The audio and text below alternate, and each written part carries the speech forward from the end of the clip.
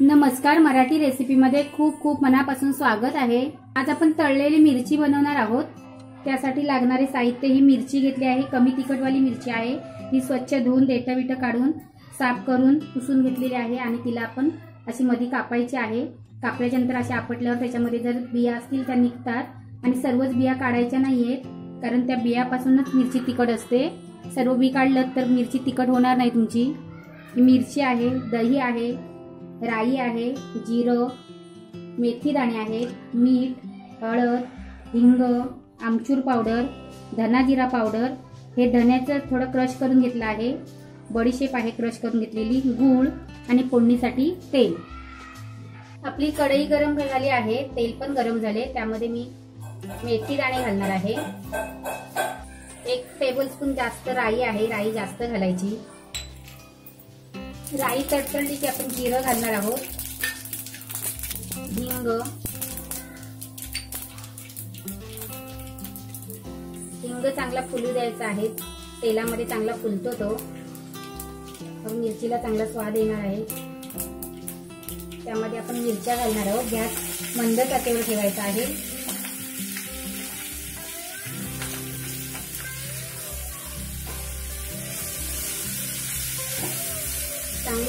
करायची. जर आपल्याकडे काय जेवणाबरोबर भाजी नसेल तर तुम्ही अशी मिरची बनवून पण जेवणाची चांगली चटक वाढवू शकता. चवदार लागतं जेवण पण. आणि ताटामध्ये आपल्या जर मिरची असेल तर आपल्याला दोन भात जास्तच जातात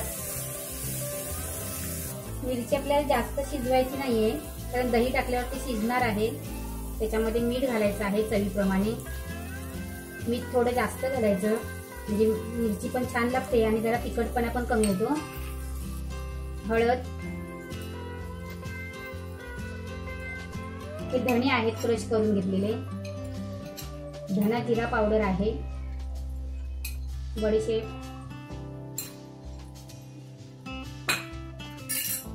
आमचूर पावडर. दही आंबट असेल तर आमचूर पावडर थोडं कमी टाकायचं एकदा चांगलं मिक्स करून घ्यायचं आहे. इथे मी जास्त तेलाचा वापर केलेला नाही आहे कारण दही घालणार आहोत म्हणून. कमी तेलामध्येच आपल्याला ही मिरची बनवायची आहे. चांगलं मिक्स करून घ्यायचं. त्यामध्ये मी गूळ घालणार आहे. तुम्हाला पाहिजे तर घालायचा. गुळाने जराशी थोडी टेस्ट येते म्हणून घालायचा.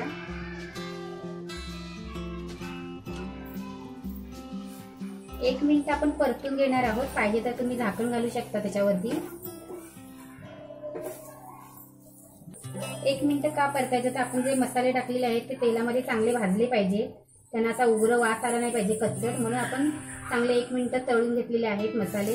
त्यामध्ये दही घालायचं आहे.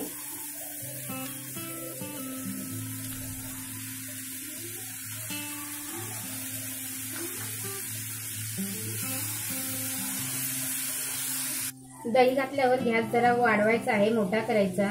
आपण उभ्या मिरच्या कापल्या आहेत कारण त्याच्यासाठी की आतमध्ये सर्व मसाला लागण्यासाठी. आणि आपण आता त्याला चांगलं सुकं करून घेणार आहोत जसे आपण फ्राय करतो तशा. झटपट होणारी मिरची आहे. आवडली तर नक्की लाईक करा. कमेंट करा. तुमच्या कमेंटची मी वाट बघत असते. आणि जर तुम्ही माझ्या चॅनलला सबस्क्राईब केलं नसेल तर सबस्क्राईब करा. आणि त्याच्या बाजूला बेलचं बटन आहे. त्याच्यावर क्लिक करा. म्हणजे मी नवीन रेसिपी टाकेल त्याचं तुम्हाला नोटिफिकेशन येईल. तिला आपल्याला जास्त शिजवायची नाहीये मग मोठ्या गॅसवरच तिला सुकी करून घ्यायची आहे. थोडी कच्ची छान लागते. लोणच्यासाठी एक एक घेऊन खायला. अशी ही आपली आंबट अशी तिखट अशी मिरची तयार आहे. थोडी आंबट करायची म्हणजे खूप टेस्ट येते. जर आपल्या कधी तोंडाला चव नसेल तर अशी आंबट आणि तिखट अशी थोडी जरासा गूळ टाकून गोडसर अशी मिरची केली तर तोंडाला पण जेवणामध्ये चव येते. व्यवस्थित अशी वेळात वेळ काढून तुम्ही माझी रेसिपी बघता त्याबद्दल मी तुमचे मनापासून आभार मानते. थँक्यू बेल क्लिक करा.